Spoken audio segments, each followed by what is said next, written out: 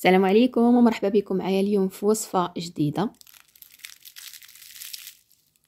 غادي تكون عبارة عن رغيفة معسلة ممكن تحضروها لرمضان المبارك وحتى لنهار العيد كتجي مقرمشة وهشيشة. بمكونات جدا اقتصادية والطريقة ديال التحضير بسيطة جدا. نخليكم مع المزيد من التفاصيل. وغادي نبدأ على بركة الله. المكونات في نفس الوقت مع الطريقة ديال التحضير. هنا في القزعه خديت نصف كيلو ديال الدقيق غربلته وغادي نضيف عليه كيس واحد من السكر فانيلا واحد القبيصة ديال الملحة وغادي نضيف معلقة صغيرة ديال القرفة وغادي نضيف كذلك أربعة ديال المعالق ديال ماء الزهر معالق الكبار ومعلقة ديال الخل. بالنسبة للمكونات غادي تلقاوهم مكتوبين في صندوق الوصف. وغادي نضيف كذلك 125 غرام ديال الزبدة اللي ذوبتها حيت الجو بارد فاش كيكون الجو سخون تقدروا تخدموا بها هكاك. أنا غادي نخلط هاد المكونات مزيان يعني نحاول ندخل داك الزبدة مع داك الدقيق مزيان.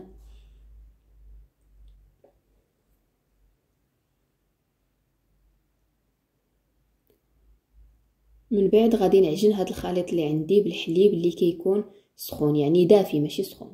غادي نعجن هذا الخليط. العجينة اللي كتكون قاصحة شي شوية بحال ديال الشباكية تماما.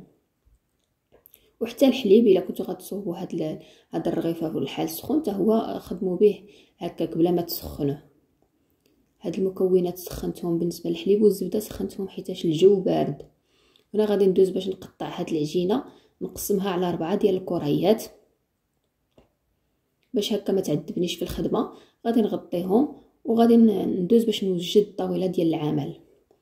هنا غادي نحتاج للنشا اولا المايزينا هو اللي غادي نورق به ونخدم به غادي ناخذ داك الكريات. عفوا. غنطلقهم واحد شوية. كما هو موضح في الفيديو.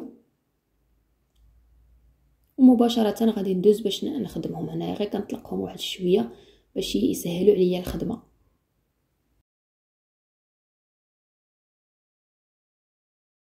ومباشرة غادي ندوز باش نطلق الكرة الأولى ديال العجين. غادي نطلقها مزيان كما غادي تشوفوا معايا في الفيديو خصني ضروري. يعني نطلقها مزيان بالدلاك ونورقها حتى كتولي رقيقة وكيبان سطح العمل من التحت.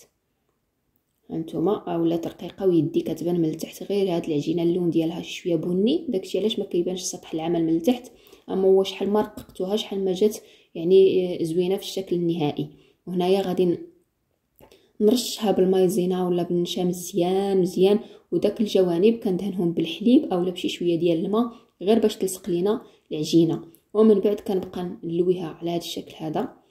يعني كنجمعها في الأول صغيرة وغادية وكنلوي حتى كنكمل داك العجينة كاملة اللي عندي. وحتى من هنا في الأخير كندهنها بشي شوية ديال الحليب اولا الماء باش كدهنوا باش تلصق لكم العجينة. غادي نستمر بهذه الطريقة حتى كنكمل كاع الكمية اللي عندي وفي الاخير غادي ندوز باش نقطعهم.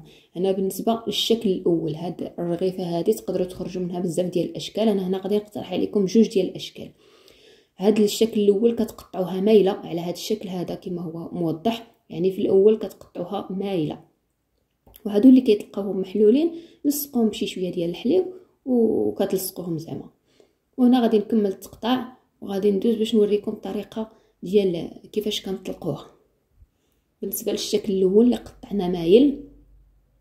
كنديروا الدلاك في الوسط. على هذا الشكل هذا كنشدو من القنت للقنت. كنوركو في الوسط وعاد فاش كنجرو الجهة السفلية واحد يعني الجرة عاوتاني الجهة العلوية. المهم راه الفيديو واضح الشرح ديالي غادي يجيكم شي شوية غريب. من في الفيديو راه واضح. هذا الشكل كتجي بحال الفراشة. فاش كطيب يعني فاش كتقلى راه كتجي واضح الشكل ديالها أكثر كما هو الفيديو راه باين وإلا ما فهمتوا شي حاجة فقط عاودوا المقطع وغادي تفهموا أكثر يعني السر كاين غير في التقطيعه وبالنسبة للشكل الثاني التقطيعه غادي نقطعها عادية ما غاديش نميلها. يعني كما قلت لكم السر كاين غير في التقطيعه ديال العجينه تما كتلعبوا على الأشكال وتخرجوا الأشكال اللي بغيتو. هنايا قطعتها الشكل الثاني قطعتها عادي كما هو موضح ما ميلتوش. ومن بعد دائما سطح العمل كديروه بشوية ديال المايزينا باش ما كتلصق لكمش العجينة وكدهنوا تدلك بالنشا. ونفس الطريقة كندير الدلك في الوسط وكنجر للأعلى وكنجر كذلك للأسفل وكتورقوها مزيان بالدلك باش كيجيوكم داك الوريقات يعني رقيقين وكتجي هشيشة أكثر هاد المقطع الموالي غادي تشوفوها معايا من زاوية أخرى باش هكا توضح معكم الفكرة.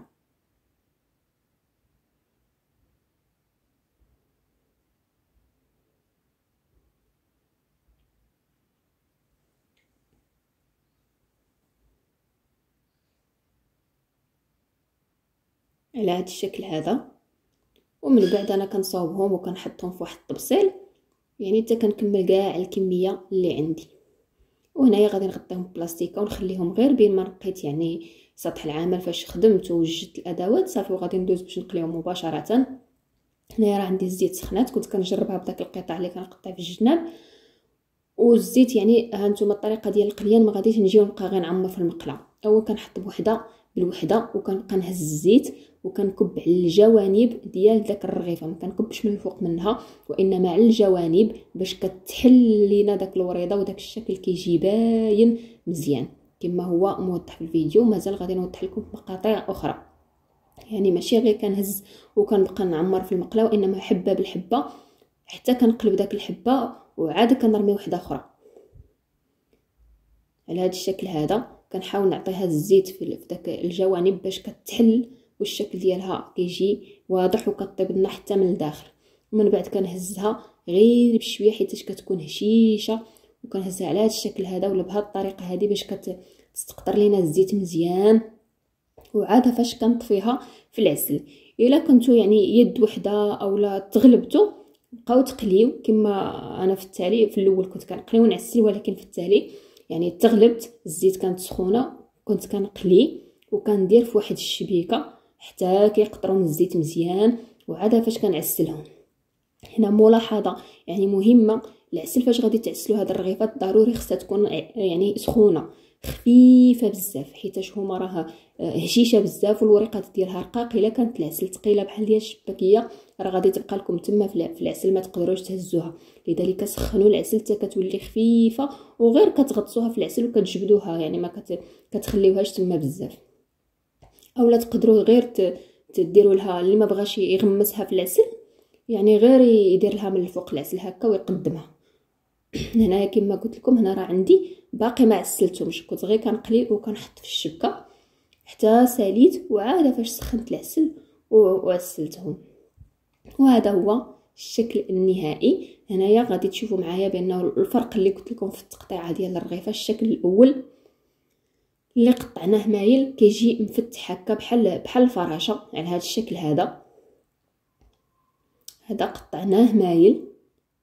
وبالنسبة للشكل الثاني اللي ما قطعناش مايل كيجي مجموع على هذا الشكل هذا حتى هو كيجي زوين. وأنتم كيبقى لكم حرية الاختيار كديروا الشكل اللي عجبكم وبالنسبة للتزيين كذلك كيبقى على حسب الرغبة. أنا هنا ما زينتهمش جمعتهم. حتى كنبغي نقدمهم وعاد كنزينهم. وهنا كما سمعتوا معايا الصوت ديال التقرميشه راه كيجيو مقرمشين وهشاشين بزاف وكيجيو يعني خفاف وكما شفتوا معاهم ساهلين في التحضير والمكونات ديالهم يعني في متناول الجميع. إلى هنا كنكون وصلت معكم النهايه ديال الفيديو. دائما أحبابي ما تنساونيش من الدعم ديالكم لايك وبارطاجيو الفيديو مع الاهل والاصدقاء ونتمنى تكونوا استفدتوا من هذا الفيديو ولو فكرة بسيطة. مع السلامة وإلى الفيديو القادم إن شاء الله.